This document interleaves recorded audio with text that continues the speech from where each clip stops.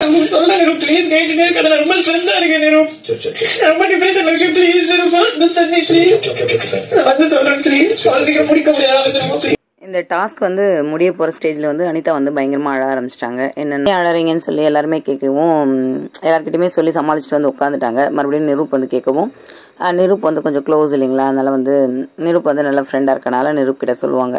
மாதிரி நான் ரொம்ப டிப்ரெஷனாக இருக்கேன் ரொம்ப வந்து ஸ்ட்ரெஸ்டாக இருக்கேன் நிரூப். அதனால் நான் உனக்கு சொல்கிறேன் தனியாக சொல்கிறேன் அப்படின்னு சொல்லி சொல்லுவாங்க. அதே மாதிரி கேம் முடியட்டும் முடிஞ்சோடனே உனக்கு கண்டிப்பாக சொல்கிறேன்னு சொல்லி சொல்லி அழுதுட்டுருக்காங்க டாஸ்க்குன்னு வந்தாலே யாராவது ஒருத்தர் அழறதும் அந்த அந்த மாதிரி தான் முடியும் இல்லைங்களா? அப்போ ஸ்னேகன் வந்து சொல்லுவார் நீங்கள் அதை பற்றி கவலைப்படாதீங்க. நீங்கள் கரெக்டாக வந்து நீங்கள் உங்கள் கேமை நீங்கள் விளையாடுங்க. அது மட்டும் போகிறோம் அப்படின்னு சொல்லி சொல்லுவார். அனிதா வந்து எப்படின்னா கேமை பற்றி ரொம்ப திங்க் பண்ணுவாங்க. ஒரு சின்ன விஷயம் நடந்தாலும் அதை பற்றி ஓவராக திங்க் பண்ணி இது இப்படி நடந்தால் இது இப்படி இருக்கும் அப்படின்னு சொல்லி திங்க் பண்ணுவாங்க. அதுதான் வந்து இந்த கேமுக்கே வந்து ப்ராப்ளமே அதுதான் இருக்கும்.